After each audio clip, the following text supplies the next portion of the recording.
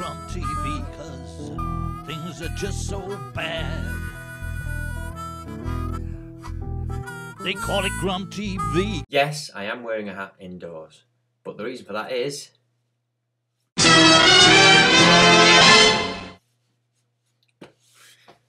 Because my hair looks shit. I've just been round to the folks' house and they were watching X Factor on the um, the re- recorder, you know, on the Sky recorder, and um, I had to come away. this takes me back to why I don't why I don't pay TV license because it's just embarrassing to watch the bad singing and the people just crying their eyes out, and the judges just tell them the crap, and they're like, "Well, this is my only chance. If you don't give me a chance, I'm never gonna make it." And my whole family's just died of cancer, and if you don't let me do it now, I'm never gonna. Bollocks! You're never gonna be able to do it. I mean, what about all the other bands and all the other rock stars and pop stars that there were before X Factor?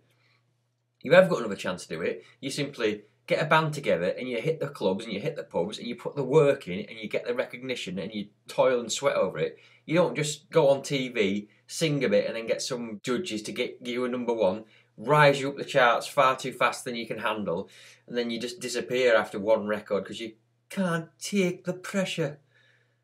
Bullshit. It, oh, I mean, no wonder I don't pay for TV license. No, I don't want to see this reality TV garbage. I just, I'm gonna set, I'm gonna um, start a campaign. I think I'm gonna start a campaign to just uh, to stop TV shows like this um, being made and happening.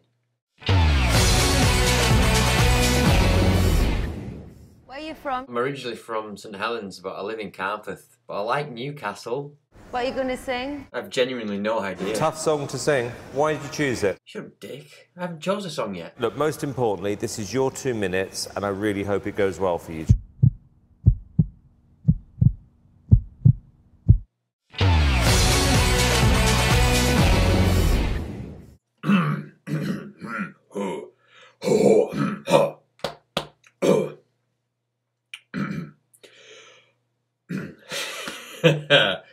oh, ha. Ave Maria, gratia plena. You've just made the competition get very, very exciting. Shut the fuck up, Louis. I nearly shut out my windows then. what a dickhead. Ave Maria,